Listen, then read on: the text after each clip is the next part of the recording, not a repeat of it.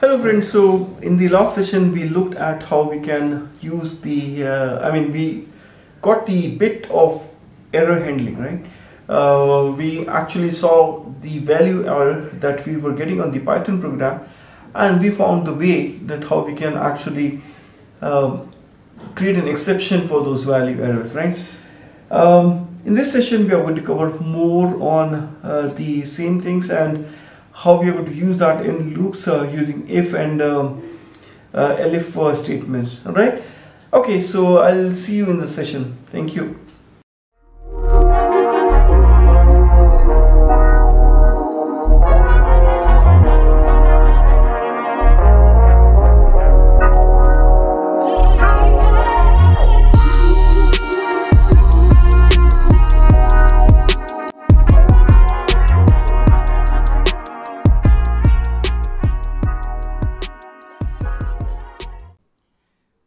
Welcome back. Uh, so let's continue with our uh, discussion on try except else finally. Yeah, great. Uh, so we are going to use the same program which we used uh, in the earlier session. Uh, that was for try except.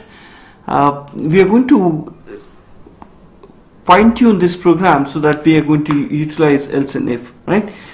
So in the last session we saw that uh, how we were able to handle the exceptions right? And uh, we also saw uh, how we can actually add uh, the except value error to avoid any um, errors right? Now by now we know that there are two types of errors isn't it? Uh, one is the syntax error uh, that you that you can see during um, the I mean before uh, before the code actually starts executing. And then the other one is the logical errors which you will see only after the code is executed right? Great. So we have seen the difference between the two also in the previous sessions right? And we had also seen how to handle exceptions by giving that except value error right? So try except can have two more extensions that is else and finally they actually add some more functionalities which you are going to see um, them here in this uh, particular code. Now um, let's uh, use this code okay and uh, we'll see uh, we'll add uh, the else to the code and see um, how it actually works. And then later on in the session we are going to add finally okay? So I'm actually um, running you through the program so we had this uh, import sys which we used to import the module of uh, the sys right which was actually helping us in executing the entire code right?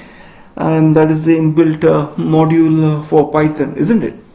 Alright so we use that and then we uh, will print a banner which uh, which will give a program to it will actually print a, a banner to the user. That this is a program to compare two numbers and then L will take the input uh, from the user and another variable U will take another uh, input from the user. Now in the next part we are actually using try and uh, yeah and then it is actually converting whatever the value that is put it is converting to a int value same for you provided a user puts a, a integer uh, value or a float value then it will convert to an int value right but then uh, we knew that okay if the user keys in the space or any character then it will actually generate an error in the uh, execution of the code. And then it will throw um, the value error. So for that what we had done is we had actually kept the except value error. And then if that happens when the user keys in something other than uh, integer value then it would print uh, program will only accept integers and then it will exit out of the program right? Till now it was all good. Now what happens uh, in this is it actually exits out of the program isn't it? This part of the code is not executed right? So for that what we'll do is we'll add an else statement here right? Now since we have added an else statement here we'll have to indent it isn't it? Yeah and this also. Right now since um, and even here.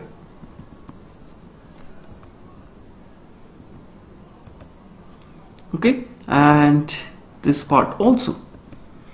Right? So since we have added an else part here what what it does is it's still going to execute this part right? We want to execute this part of the code also. So for that what we'll have to do is we'll have to remove this code uh, this line of the code. So the way we can do is we can actually remove it or we can do in hash. So this uh, and since we are getting rid of this line then even this part is not needed. So we can actually comment this one also. And you guys know that uh, if you're putting in hash before any any uh, line um, then it will be treated as a comment and uh, the interpreter will will actually uh, exclude that uh, line uh, when, when it is executing the codes right? Great.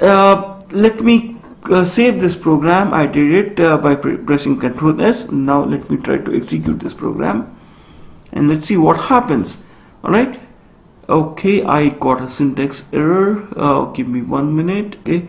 Alright now let's uh, I'll do control s function f5 yeah I'll actually maximize the screen and I give a number 4 5 so it gives u is greater looks good.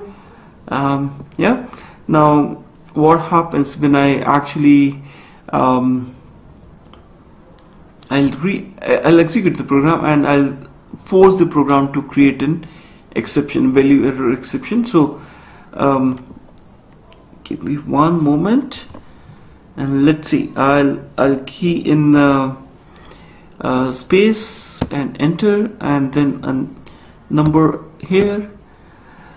So what happened is it gave program will execute it actually executed only this line and gave the output as program will only accept integers right? And then exit it out right? So uh, now actually uh, if a program is to run only this part we, we were able to get it done uh, the result was fine. And when whenever uh, the user inputted a number still it was able to uh, execute till the end. But there was no uh, output like uh, this one right? We were not able to get this output uh, where actually the way it actually exited the program it was like um, like um, it was looking like an abrupt exit out of the program isn't it? So how we can add this line? So for this I would want to introduce the another concept that is finally right so now as we can see um, that uh, thanks was not given. So if we want to add that message to the uh, to the to the output of the program then we will have to use the final uh, finally statement yeah? So finally is used to execute certain lines of codes even if there is an exception or even if there is no exception. So it will print even if there is an exception or if there is no exception. So that's what we wanted to achieve isn't it? So for that what we'll have to do is we'll have to add a statement finally. So finally colon and then now let's have a look. Okay? So what happens now? Okay? I input a number 4 and then I 5 and then I got thank you isn't it? Right yeah let me uh, redo it again with a new window uh, function f5 and I give a number 4 and then 5 now I can see I, I got a thank you which was here right? Finally yeah? Because this part of the code will be executed even if there is an exception or there is no exception right? So we have checked when there is no exception and we were able to get thank you right? Now let's try to uh, create a uh, logical error in the program by keying in uh, space for the first number and um, E for the second number. Yeah?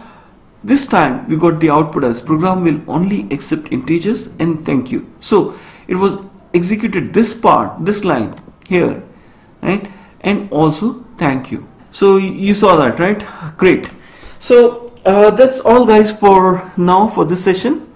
Um, I hope you were able to follow it all uh, quite nicely. And um, for um, future lessons uh, I would uh, request you to click on the subscribe icon and also click on the bell icon for getting the updates on the real-time basis. Alright until next time keep watching and keep learning. Thank you